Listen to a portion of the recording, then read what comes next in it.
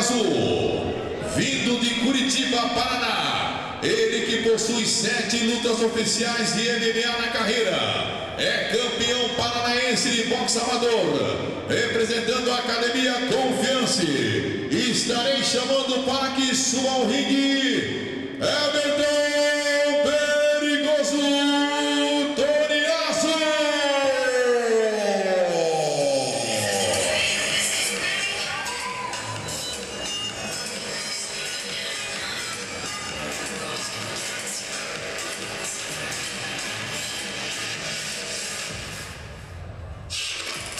E agora, chamando para que suba ao ringue, ele que também tem toda uma história no boxe, grande campeão, grande lutador, veio para lutar, para vencer, estarei chamando para que suba ao ringue, aqui no Sunday Fight Night, Paulo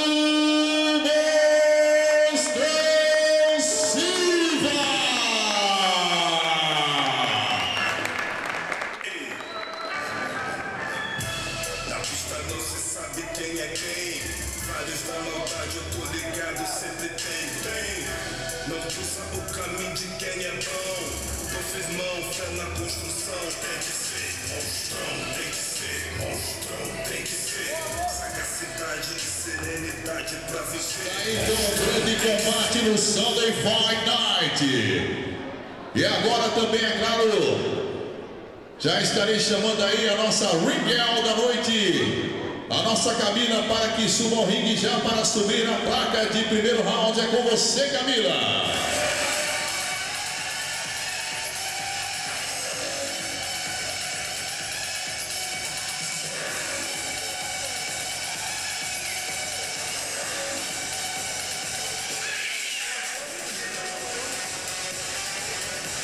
Está aí a nossa Ringel Camila.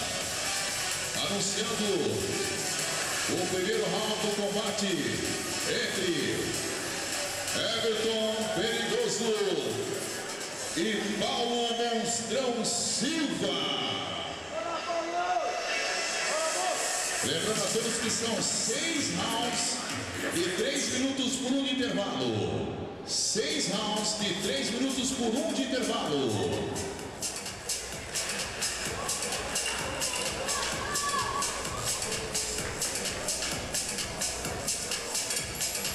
Está aí o nosso grande árbitro central do combate, senhor Atilson Souza, conversando ali com os dois boxeadores.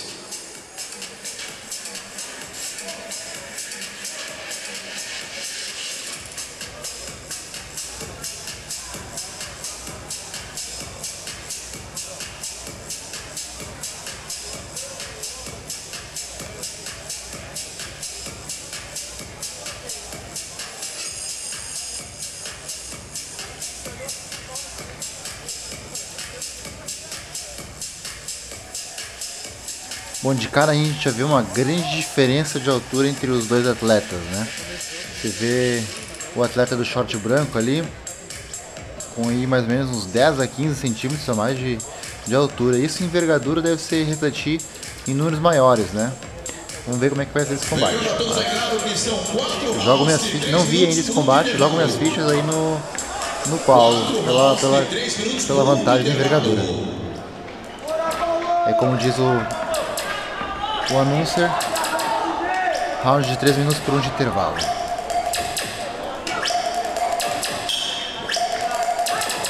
Iniciando o combate, jabs rápidos aí do short branco. Hum, Foi um pouco ataque suicida aqui do, do short escuro, short preto. Mas ele tem que encurtar a distância. Se ele não tiver um bom recurso técnico, ele vai ter um pouquinho de dificuldade nisso. É. Ele tá um pouco boi brabo ali, tá indo pra cima qualquer, de qualquer jeito. Bons jabs. Bom, jab recuando do short branco. Bom direto, hein? Pegou. O golpe pegou. Ele continua avançando sem parar. Ele, ele teria que esquivar de um golpe para depois avançar. Para depois entrar com contragolpe. Mas ele está entrando reto e, e acaba caindo de cara com os golpes longos do, do short branco. Do Paulo, né? Esse é o nome do, do dele, né? Aí, bom momento. E mesmo no clinch, a vantagem é muito diferente porque o atleta é muito alto. É muita diferença de altura entre esses dois atletas. Ele saiu do golpe, mas saiu para trás e acaba não tendo velocidade para voltar. Movimentando-se bem, o Paulo. Os golpes do short preto estão um pouco sem foco.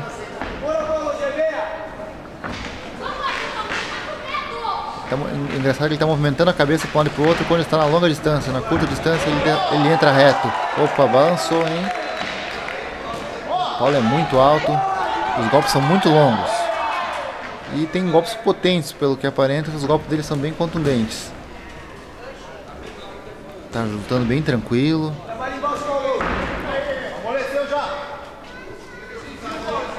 Bom, excelente controle. Golpeando na saída. Aí clinchou, devia separar, separa.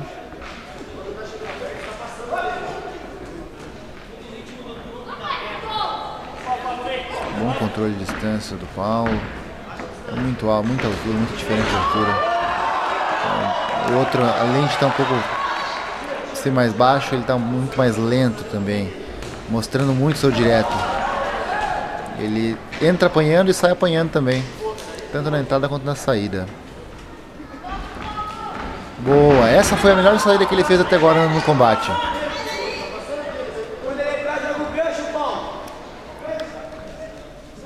Correto, Paulo, quando tiver na curta distância, que tem que agarrar mesmo e evitar essa curta distância. A vantagem dele é toda na longa. Aí houve um fair play ali do short preto em estender a mão para o Paulo, mas o Paulo não, não cumprimentou. O pessoal às vezes não tem esse fair play, não tem esse costume de tocar luvas. Eu acho muito interessante porque afinal é um, é um esporte, não é uma briga. É muito interessante mostrar que não todos de comum acordo. Embora o pessoal queira vender os combates, fazer toda uma mídia aí na, nos grandes eventos. Eu acho que a gente tem que ter, para poder difundir o esporte, temos que mostrar que tem que ser muito inteligente para entender que um esporte não é uma guerra, é uma luta né, e não uma briga. Aí as instruções do corner. Ó, explicando para mexer a cabeça, entrar balançando provavelmente.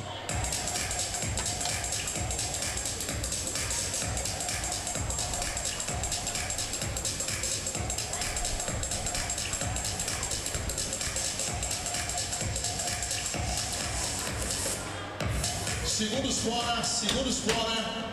Segundo fora. Preparando para o segundo round.